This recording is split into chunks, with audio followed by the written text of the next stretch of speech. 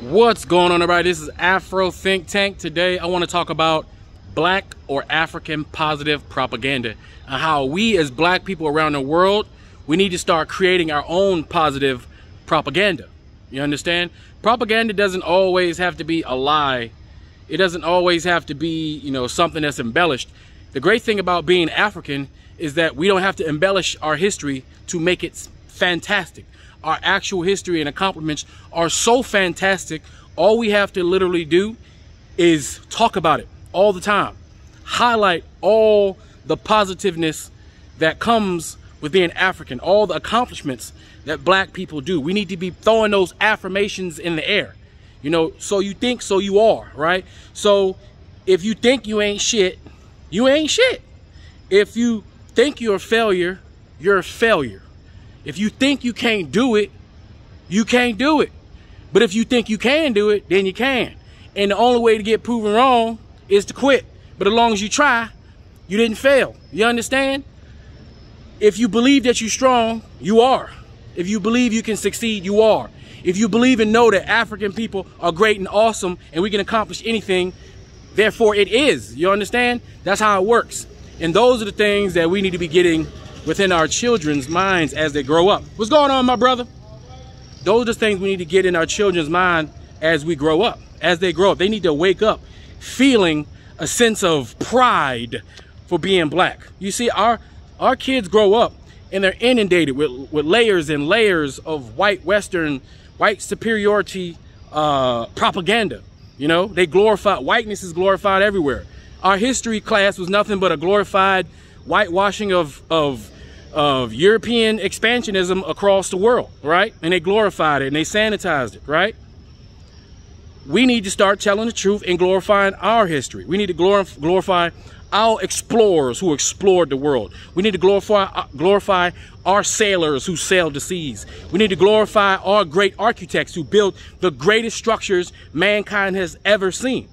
Despite the fact that, that, that you know, the Europeans have destroyed and stolen it all. The mere fact that after they destroyed everything that we've built, took away our knowledge, took away our sense of self, yet for some reason, by default, the African diaspora has rebuilt Europe twice and built America and built all the all the infrastructure and built, built all the wealth of these white people in these Western nations who tout how great they are because of the things that they stole. But we build. They steal, we build. And we need to be proud about that. We should be proud about our warrior prowess. We should be proud about our warrior history. We should be proud about those things. Look at the Japanese. Look how proud the Japanese are. They had a whole, they had two nukes dropped on their country. The small little country. Two nukes dropped by the white people for no real reason. They just wanted to see if the shit worked, right? Two nuclear warheads dropped on them. They were forced to give up, to submit to the white man in an embarrassing fashion when it comes to the way the Japanese culture is. Yet they still maintain and hold on to their pride. They're, they hold on to their, their pride of their culture, the samurai warrior. They still have that, right? You can't take it from them. Even in defeat, you can't take it from them. And sometimes you got to learn how to die on your shield. There is, there is honor in dying on your shield. There's honor being pr a proud black man. Even if you got the whole world coming down on you. Even if you got the whole world talking trash about you, making fun of you, uh, hyping up stereotypes, right? Even if you got the whole world against you, you already know in the age of information, the reason why they're against you is because they can't be you. They're jealous of you. They want what you have. I mean, how clear, how much, how clear does the communication need to be? That we are the envy of the world. And what happens when you envy something, right? What happens when you envy something and you can't be that thing that you envy? You either appreciate it and celebrate it, or if you get out, or, or if it gets toxic, you start to hate on it. Find ways to tear it down because you can't measure up, or you feel like you can't measure up. We have a bunch of other people on the planet that feel like they can't measure up to us. So they make it their business to belittle us because it makes them feel good right? And they don't mind those POCs that want to be closer to whiteness. Those white people who's afraid and jealous of all the accomplishments of Africans and had to make up a whole fantasy about how great they are, right? Those people don't mind putting out uh, propaganda to make sure that we don't know who we are. Can you imagine what would happen if the global majority all of a sudden had a high level of racial pride, being proud to be African, being proud to be the most communal group of people on the planet, being proud of all our talents and our accomplishments, being proud of our homeland, being proud of the things that, that our homeland is capable of doing, the things that we have done. Imagine the inspiration that would give to a child to say, well, we can do all of this and we've done all of that. What else can we do? What else can we do? Given the chance, given the opportunity on an even playing field, what can we accomplish as Africans? Right? So we have to put that in the minds of our youth. We have to put that in the ether of the black community that while everybody's talking shit about us, we know why. We don't have to keep asking the question why. We don't have to keep asking why, why, why certain, we have the answer to a lot of those questions. What we need to do is start answering our own questions. Who are we? What does it mean to be black? What does it mean to be African? What does black power mean? What does black power look like? How is black power manifested? What is black excellence? How do we get more of that black excellence? How do we, how do we compound black excellence for the future? How do we give our great grandchildren a better future? How do we make it so they can freely pursue their dreams, their hopes and dreams without being uh, deterred by others who are jealous of what they could possibly do, their potential? How many more black geniuses do we need to see on a daily basis? It's, we're so used to seeing little black geniuses, we don't. It doesn't even make news to us anymore because we know that we're geniuses. We know, given the opportunity, our, our children are, are, no matter where they are in the world, will excel well beyond basic human expectations, right?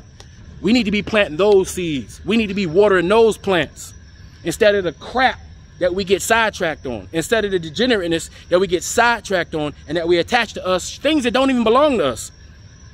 We attach things and we're proud of things that don't belong to us. That's not a part of our culture. Just because we make everything look cool don't mean it's cool for us to be to have it. Just because we make everything look cool doesn't mean it's cool. It just means that we make it look cool because we just so happen to be the most influential group of people on the planet amongst a lot of things that we are the most of. All right. So all I'm saying is, guys, we got to start developing the culture of racial pride, huh? Group pride. Stick your chest out. You know, put your put your chin up and talk about the things that we do good. Tell our children that they're not just stupid, dumb degenerates. They're not on food stamps. Stop talking about food stamps and and and Taknisha and Takwisha. Every group has a Taknisha, a Taknisha, and a Terrence and a Peebo. Stop talking about that. Why are you why are you reaffirming negative stereotypes? Everybody else already doing. We don't need no we don't need to be helping them do do, do that to us. What we need to be doing is giving them giving that force an opposing force. Give that negative force an opposing force, a black excellent force, black force power. That's what we need to be. We need to be pushing that. And we need to be blocking out the negative. So when you got people that come on the internet every day to tell you you ain't shit, stop watching them, man. It's a waste of time. If somebody can take the effort to come and tell you you ain't shit every day just because they ain't shit, just because they family ain't shit, and they want to project on onto you, you don't have to accept that information that you're ahead. You don't have to accept that as being reality for black people. Because there are tons of people who got fucked up family lives. Tons of people who got shitty ass, ghetto ass parents, moms, grandmas, and, and, every, and everything else. That doesn't, that doesn't reflect the, the entire community, right? And you got to be a, a lot smarter, right? You got to be a lot more worldly. You know, you got to be, be a, a, lot more um, compassionate to understand that there's context to everything, right? That every family situation is different and that there's a macro view and there's a, there's a minor view. You have what's going on in your house, what's going on in, in, in, in, your, in your neighborhood. You got what's going on in your village, with your town, your state, right? Your country and your planet. And it's what's going on in the galaxy. All right. There's levels to this, right? And you got to understand how all that plays with each other right? But if you if you want to make a change, be more positive towards your black brother and sister. Remind them how great they are. Now, everybody wasn't a king and queen, but guess what? King and queen wasn't the only thing that we were. We were architects, teachers, scientists, mathematicians, doctors, scholars, Okay, we were a lot of things that we could be proud about in, the, in, in the, that, that we did, that we accomplished, that we're still accomplishing. And don't let nobody tell you that African Americans right now are not making great strides. in this country, that we're not making great strides in other places. Don't let them tell you that. Just because they can go go down to the ghetto, right, in a corner store and see a couple Pookie and Ray Ray sitting by the liquor store. Just because you can see a bunch of them doesn't mean you can't go see Terrence in, in Wall Street. Doesn't mean Pookie's brother didn't make it. He ain't a senator right now. All right? Look how many black women we have in power right now. Look how many black men we have in power in various positions throughout the most powerful country in the world. They're going down in history. Just like those great black African generals that uh, participated in, in India, in, in, some of the greatest dynasties in India, in, in, the, in the Persian Gulf, and and in, the, in Middle East, in, in Europe, in Asia, all those the the the, the, the black the, the black samurai, just like those legendary figures who went to other places for one reason or another and excelled within their communities.